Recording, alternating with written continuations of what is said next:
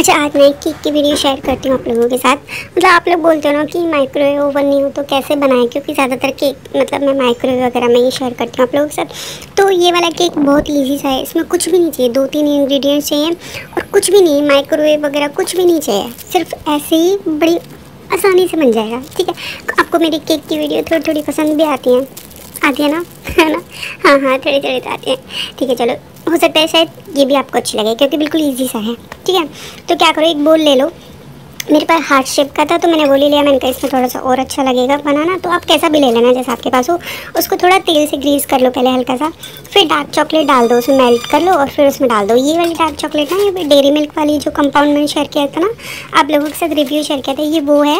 मैं आपको लिंक दे दूँगी वीडियो का नीचे, आपको लोगों को लेनी हो ना तो अमेज़ोन से ले लेना, मैंने अमेज़ोन से खरीदी थी, ठीक है? फिर बेफर्स होते हैं ना वो ले लो, ये वनीला वाला है। उसको एक लेयर लगा दी, अच्छे से सारी तरफ़ लगा दो, फिर डार्क चॉकलेट और लगा दो, फिर बेफर्स और लगा दो, फिर डार्क चॉकलेट और लगा दो। तो ये बेफर्स का ना एक पैकेट था, मुझे प्राइस तो याद नहीं, पता नहीं कितने का था ये। तो इसमें छोटे छोटे दो पैकेट निकले थे, ये इस बोल के लिए काफ़ी रहते हैं। तो आप अपने अंदाजे से देख लेना, जैसे जितना अगर आप बड़ा बना रहे हो तो आपको ज़्यादा लगेगा, है ना? तो ऐसे ऐसे करके इसको पूरे चॉकलेट से भर देना इधर उधर से अच्छे से, बिल्कुल भी रहनी नहीं चाहिए जगह, है ना?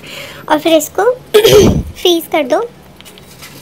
मैंने 10-15 मिनट के लिए किया था 10-15 मिनट बाद मैंने निकाला ना तो ये साइड से तो निकल गया, पर नीचे से ना चॉकलेट मतलब जमी नहीं थी, फ्रीज ही नहीं हुई थी। ये ना पिघली हुई निकली, है ना? फिर मैंने इसको क्या किया, मैंने इसको निकाल, निकाला चॉकलेट को और उल्टा करके फ्रीज़ कर दिया, क्योंकि वो नीचे जम गई थी ना तो वो फिर से तो जुड़ती नहीं उसमें। तो आप थोड़ा सा ज़्यादा देर के लिए रख लेना मतलब 20 से 20 25 मिनट के लिए रख लेना फ्रीज़र में तो सेट हो जाएगा एकदम, ठीक है? फिर उसको डेकोरेट कर लो, जैसे भी आपको चाहिए, मेरे पास थोड़ी सी चेरीज़ पड़ी हुई थी, मैंने चॉकलेट में डिप कर करके ऐसे लगा दी साइड्स में। जैसे आपका मन आए वैसे डेकोरेट करना नॉर्मल कुछ नहीं चाहिए, कुछ नहीं है तो चॉको चिप्स वगैरह डाल दी, कुछ भी। और कुछ नहीं तो चॉकलेट डिजल करके जैसे मैंने डाली है ना, वैसे भी डाल सकते हो, ठीक है? वैसा भी अच्छा लगता है। जैसे मैंने वैसे डेकोरेट कर आप।